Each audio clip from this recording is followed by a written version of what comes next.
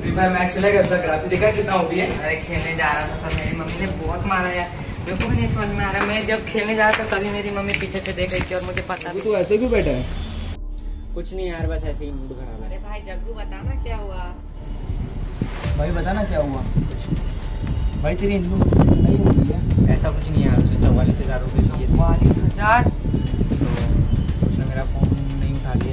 Message वगैरह कुछ भी सीन नहीं करके नंबर ही ब्लॉक करके रख दिया। अंकल आंटी को पता है? यही तो प्रॉब्लम है ना उन लोगों को कुछ नहीं पता है। और तुम घर वालों को टेंशन होगी इतने पैसे कहाँ गए? पुलिस केस किया घर वालों ने। जाके घर पे सब कुछ बता दे। ऐसा नहीं कर सकता यार। आप बहुत मारेंगे मार भाई टेंशन मत ले सब कुछ ठीक हो जाएगा। के साथ बहुत बुरा हुआ यार हाँ यार ये तो बात सही है। यार उसकी कुछ मदद कर सकते हैं? चल देखते हैं।